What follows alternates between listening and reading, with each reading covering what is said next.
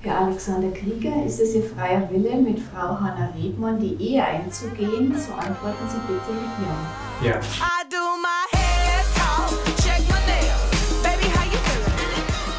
Hi, mein Name ist Parshad und ich bin heute als Gastreporterin für Follow Me Reports unterwegs. Thema heute: Jung heiraten. Damals mit 20 wollte ich unbedingt jung heiraten, aber dann kam Generation Z und ein paar Schicksalsschläge bezogen auf mein Liebesleben in die Quere. Heute treffe ich Hannah und Alex, ein junges Paar. Hannah ist 19 Jahre alt und Alex 18 und morgen werden sich die beiden einfach das Ja-Wort geben. Es gab ein paar negative Reaktionen aus ihren Umfeldern diesbezüglich und ich werde auch gleich mit den beiden darüber sprechen. Und morgen bin ich bei der Trauung einfach dabei. Der Papa wird emotional. Papa darf das aber. Ich habe eure Fragen wie immer mit dabei. Wir sind hier bei Follow Me Reports und los geht's. Hallo Bräutigam. Hi. Hanna. Hi Hanna. Parshad freut mich sehr. Hi, Hi, Alex. Alex, ja. Freut uns auch. Parshad freut mich. Wie geht's euch? Ja, sehr gut, Gut. eigentlich. Also Ja. ein bisschen stressig. Und Und aufgeregt, aber ja, Ich bin auch sehr gut. aufgeregt. Und das ist eure Location? genau. Äh, nach der Trauung. Ja. Genau. Dort trefft ihr dann Familie und FreundInnen zum Genau, Essen und so eine alles. kleine Hochzeitsgesellschaft dann. Wie viele ja. Leute seid ihr? Wir sind jetzt ähm, hier zu zwölf. Darf ich mal reinlinsen? Darf ich? Sehr gerne. Darf ich euch gerade mal begleiten? Warum gerade ausgerechnet hier? Ähm, weil wir das einfach ähm, schön fanden. Es ist halt einfach so was, wo wir schon mit Freunden so öfters waren. Und für euch war es auch wichtig, dass ihr so die Gesellschaft so klein haltet, ne? So klein ja, auf jeden. Fall. Darf ich fragen, warum? Ähm, das hatte mehrere Gründe, weil ich, ich war auch schon auf Hochzeiten und ich mag es einfach, mich mit jedem so unterhalten zu können. Und wo habt ihr euch kennengelernt? Es war vor vier, Hier ein Dreivierteljahr. erster Schultag. Ich hab- Erster Schultag Ja, genau. Ja, da ist sie zu spät gekommen und dann habe ich äh, praktisch die Tür aufgemacht und dann. So, am Ende ich muss schon bei sowas heulen. Ne? Also es war so liebemäßig auf den ersten Blick, kann man ja, sagen, kann man von beiden sagen. Seiten Wir sind nach aus. zwei Wochen dann zusammengekommen. Ja. Hallo Trauzeuge. Hallo. Dein Name ist? Joanna. Joanna. Wie hast du von der Hochzeit erzählt? Wir waren zusammen in Berlin und dann habe ich ähm, ihr vorher erzählt, ähm, kurz vor, bevor wir uns verlobt haben, dass ähm, ich Alex einen Antrag machen will. war die Einzige. genau. Moment mal, stopp, du hast Alex einen Antrag gemacht. Nein, wir haben uns beide einen Antrag gemacht im Prinzip. Wir haben nicht abgesprochen, wann der stattfindet, aber halt, dass er stattfindet. Ähm, und das halt, wir haben uns halt beide dann einen Ring gekauft, weil wir das halt so machen wollten, dass nicht eine Person das nur macht dann. Wir das so schöner fanden. Ne? Ah, das ist der Moment, Das war okay. sozusagen in Berlin auf dem Park im Hotel. Und habt ihr euch beide gegenseitig einen Antrag gemacht? Ja. Wie habt ihr euch in dem Moment gefühlt? Das war, glaube ich, sogar vielleicht der schönste Moment bisher in meinem Leben. Es war Bei mir echt auch, sehr, ja. sehr schön. Habt ja. ihr beide geweint? Darf ich ja, fragen? Ja. doch. Würdet ihr sagen, ihr seid immer noch so verliebt wie am ersten Tag? Also es wandelt sich ja auf jeden Fall. Man hat immer eine engere, immer mehr eine engere Bindung miteinander. Wohnt ihr zusammen eigentlich? Wir wohnen zusammen, ja. ja. wohnen aktuell bei Alex seinen Eltern. Aber wir sind jetzt fertig mit dem Abitur und haben sogar tatsächlich schon eine Wohnung in Regensburg. Oh, mach Glückwunsch, Leute. Das freut mich voll. Ja. Hammer. Genau, da gehst du studieren und ich habe da schon einen Ausbildungsplatz in Regensburg. Ihr habt richtig, richtig geplant, ne? Also bei euch ist so, wir heiraten, Wohnung und dann Job. Ja. Hammer. Bei mir ist so, ich bin, bin aktuell so in so einer Trennungsphase. Ich habe selber so eine zweieinhalbjährige Beziehung hinter mir und ich bin so total, ich weiß nicht, was ich so von Liebe halten soll aktuell. Ihr seid ja zusammen irgendwie auch groß geworden, ne? Also ihr seid zusammen aufgewachsen. Da hat man ja auch schon so die verschiedenen Ja. Entwicklungen, weil wir haben uns ja sehr verändert, seitdem wir sozusagen 14 und 15 sind, logischerweise. Und ich meine, wenn man viel miteinander kommuniziert und immer redet über alles, glaube ich, ähm, ist es eigentlich gar kein Hindernis. Dann wollen wir eigentlich mit Pascha Anfangs machen? Wo ist sie? Trauzeugin? I live in abundance. Love is the new money. I'm mentally wealthy. Wow. Ja. Girls, ich muss die zensieren wahrscheinlich. Girls Called. Ich rufe später mal an, wenn die Kameras aus sind. Ich gehe mal hinter die Bar. Und morgen gibt's alles Alkoholisches, ne? Ähm, Alkohol wollten wir eher rationieren. Wir haben äh, beim Sektempfang haben wir Sekt logischerweise und danach kein Alkohol mehr. Nee. Also gibt's einen bestimmten Grund oder ist es so. Ja, ich habe schon öfters gehört, dass bei Hochzeiten dann manche Leute da übertrieben haben und Ja. dann, ja, Das wollt ihr so vermeiden. Ihr wollt es so gemütlich und. Genau, so ein gemütliches Zusammensitzen. Wow. Hey, wir sehen voll gut aus. Kann ich irgendwie behilflich sein? Ja, also wir haben Ich hab Lust. noch Kleinigkeiten zu tun im Ja. anderen Raum. Darf ich fragen, äh, wie viel ihr ausgegeben habt für die Hochzeit insgesamt? Äh, also im vierstelligen Bereich schon. Vierstelligen ja. Bereich. Ja. Und habt ihr auch dabei finanzielle Unterstützung bekommen von Familie oder Freundinnen? Äh, wir haben bisher alles selber finanziert, genau. Und ähm, haben halt gut dadurch sparen können, dass uns Leute geholfen haben bei vielen Dingen. Okay. Die Lichterkette, also das Ding muss jetzt über diese genau. Minute. Oh, okay.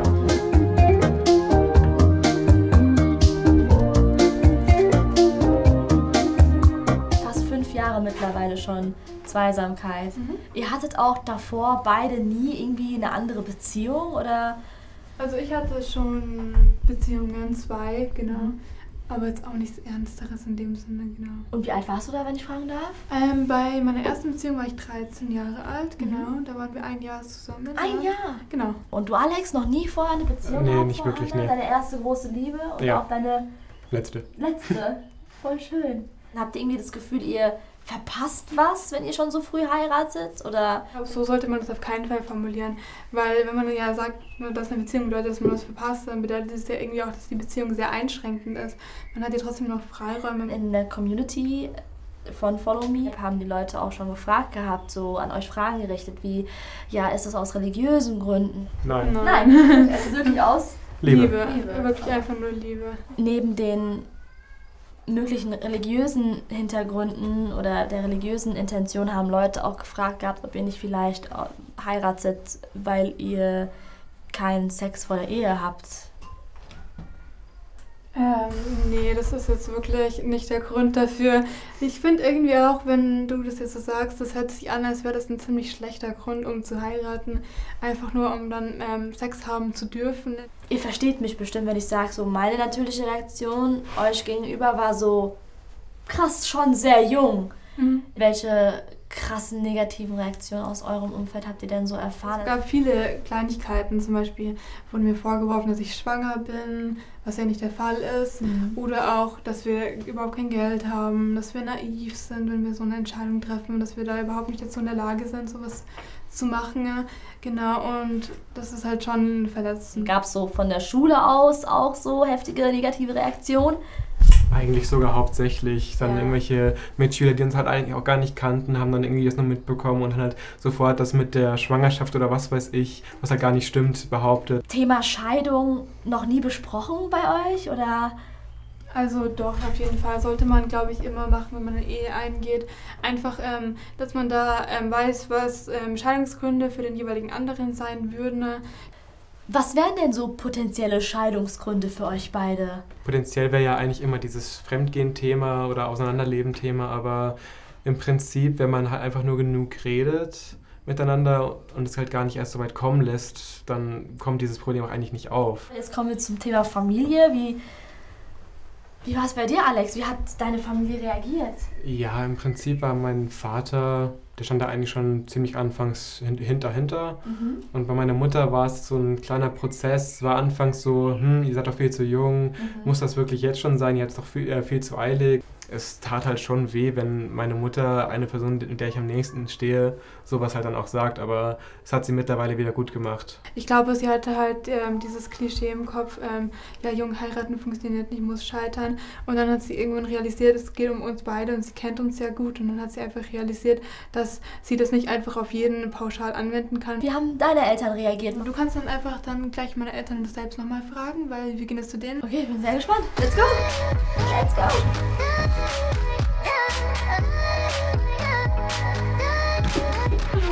Hallo! Tascha, freut mich. Auf Fragen. Hallo, Hallo, grüß Anja, hallo. Hallo, Anja, freut mich sehr. Euch geht's bestimmt, ihr seid bestimmt noch aufgeregter als ihr alle zusammen. Ja, definitiv.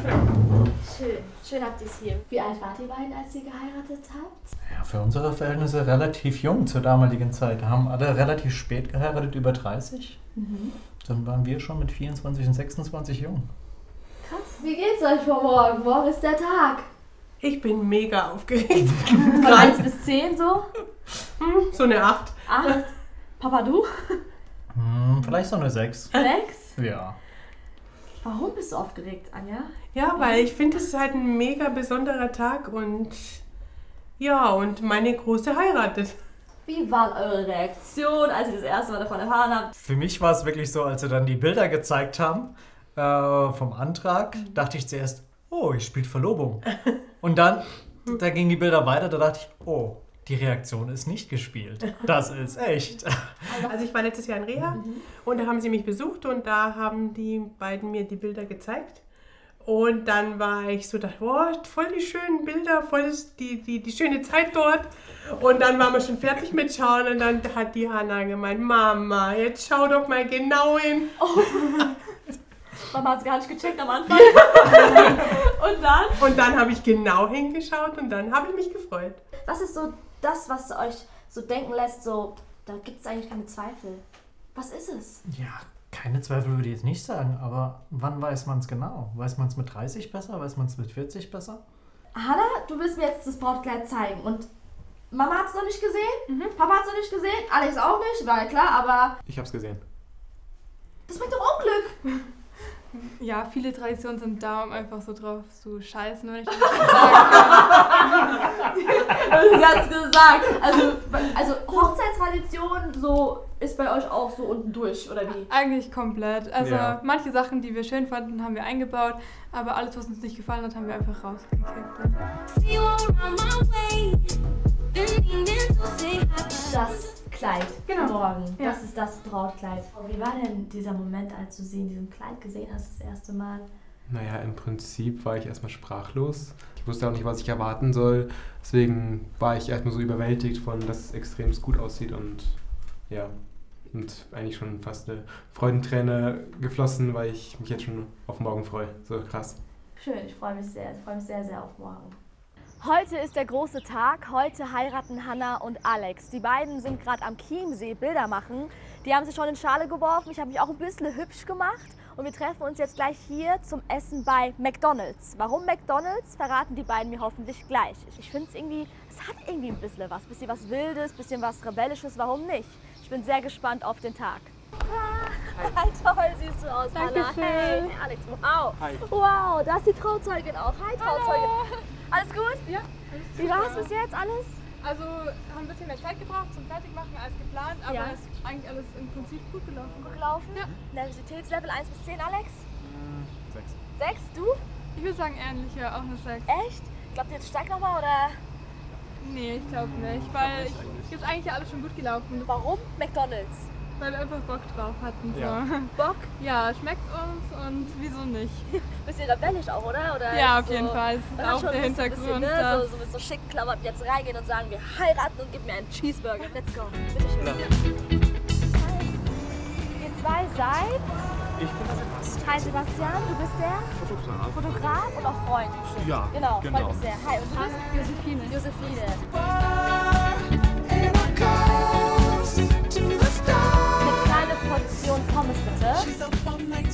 Seid ihr dann nach heute verheiratet.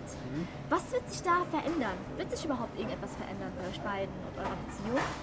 Ich glaube eher weniger, weil ich meine, wir haben ja davor schon zusammen gewohnt, viel Zeit miteinander verbracht und kennen uns ja auch schon super gut. Ich glaube, das einzige Große, was noch kommen wird, ist, dass wir halt dann wirklich zusammenziehen und dann halt unser gemeinsames Leben im Prinzip ähm, richtig starten. Ihr habt so einen richtigen Fahrplan aufgestellt für euer beider Leben. Und wie sieht es jetzt aus nach der Ehe? Habt ihr schon geplant direkt? Kinderplanung? Also Kinder sind überhaupt nicht in Planung. Nee. Kann ich mir auch Überhaupt gar nicht? Nee, kann ich mir auch gar nicht vorstellen. Gar also, nicht? Vielleicht ändert sich das noch in, in einem Jahrzehnt oder so, aber aktuell einem so Jahrzehnt? gar nicht. Warum? Ein Kind bedeutet auch immer wieder Stress und Arbeit. Wenn wir Kinder haben wollen würden, müssten wir dahinter stehen. Die Welt ist halt teilweise auch nicht so ein schöner Ort und ich weiß nicht, ob man da zwingend noch mehr Kinder so hineinbringen muss. Und ihr seid ja ineinander verliebt, mit voller Überzeugung. So habe ich euch jetzt kennengelernt in den letzten Stunden. Und was ist so der entscheidende Punkt, woran ihr das selber an euch merkt, dass ihr auch so verliebt seid? Also Hannah, woran merkst du, ja, ich bin verliebt in Alex? Also ich würde auf jeden Fall fast alles für Alex tun und er ist einfach auch Priorität in meinem Leben und einfach ein enorm wichtiger Mensch. Bei dir, Alex, woran merkst du, du bist so richtig verliebt in Hannah? Im Prinzip merke ich es daran, dass wenn ich sie anschaue, immer wieder ein Lächeln mir raufkommt und ich einfach mit Glücksgefühlen übersch überschwemmt werde. Das war gerade so süß. Ich wusste gerade nicht, was mit mir los ist. So was habe ich schon lange nicht mehr gehört. So. Trauzeuginnen, geht's euch gut? Ja, sehr gerührt. Sehr gerührt. Ihr kennt die beiden auch wahrscheinlich nur so, ne? Ja. So wie du es mir erzählt hattest. Du auch, Josephine? Also genau so. Es ist vielleicht noch, noch romantischer geworden zwischen den zwei. Echt? Ja. Ja. Hanna und Alex wirken überraschenderweise relativ entspannt auf mich, aber ich glaube, das kommt so mit der Zeit. Die Nervosität, die Aufregung kurz vor der Trauung, während der Trauung.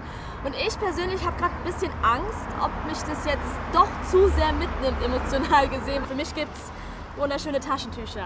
Mich interessiert aber auch sehr jung heiraten. Was ist eure Meinung darüber? Was denkt ihr? Schreibt es mir gerne in die Kommentare. Jetzt war alles gut. Wie geht's dir heute? Ja, es wird langsam. Guten Tag. Sie sind Äh, Thorsten Krieger, ich bin der Vater vom Bräutigam. Hallo Thorsten, freut mich sehr. Wie fühlst du dich heute, Thorsten? Bist du aufgeregt? Ja? Bisschen, ja, aber ja. Von 1 bis 10 so eine Skala, so eine.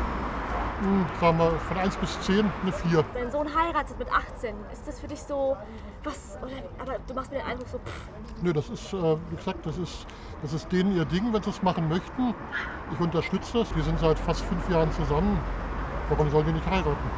das sind ganz klare Worte. Vielen Dank, Thorsten. Dann möchte ich dich gerne jetzt reinbitten. Okay, Und die beiden kommen gleich. Dankeschön, vielen Dank. Ah, da kommen die beiden jetzt. Die kommen, die kommen. Hallo, hallo. Hallo. Hallo. Geht's gut? Geht's gut? Ja.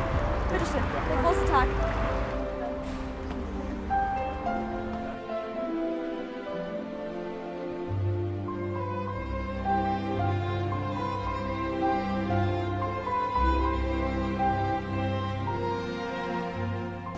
Herr Alexander Krieger, ist es Ihr freier Wille, mit Frau Hanna Redmann die Ehe einzugehen? So antworten Sie bitte mit Ja. Ja. Ich frage auch Sie, Frau Hanna Redmann, ist es auch Ihr freier Wille, mit Herrn Alexander Krieger die Ehe einzugehen? So antworten Sie bitte mit Ja. Ja. Nachdem Sie beide meine Frage bejaht haben, gilt Ihr Bund als geschlossen und Sie sind somit Kraft Gesetzes rechtmäßig verbundene Eheleute, dürfen das natürlich gern mit einem Kuss besiegeln, wenn Sie möchten.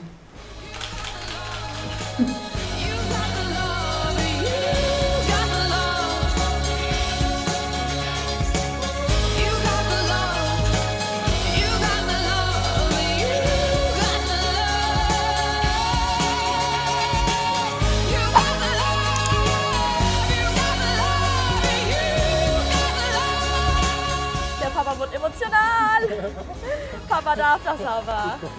nein, nein, nein. Glückwunsch.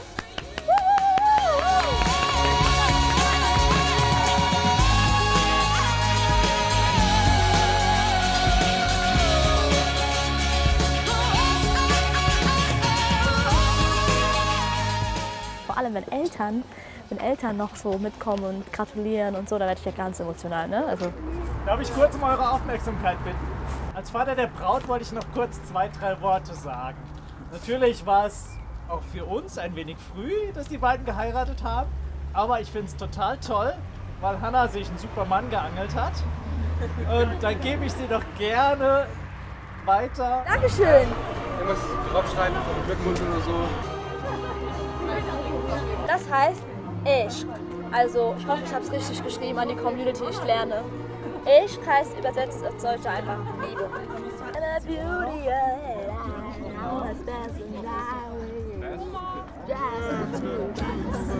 Was ist das?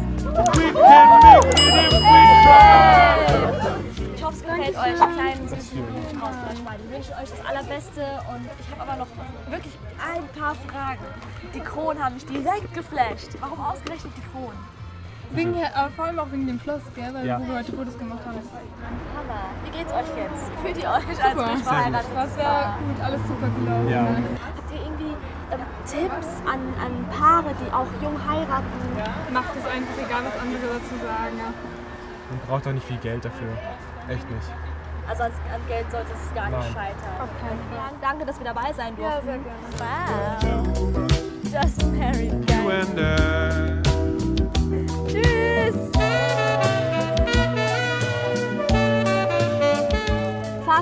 Also meine Meinung hat sich jetzt nicht wirklich geändert zu dem Thema jung heiraten, aber ich kann auch nur aus persönlicher Sicht sprechen, weil ich einfach mit 18 eine ganz andere Person war als die Person, die ich jetzt bin.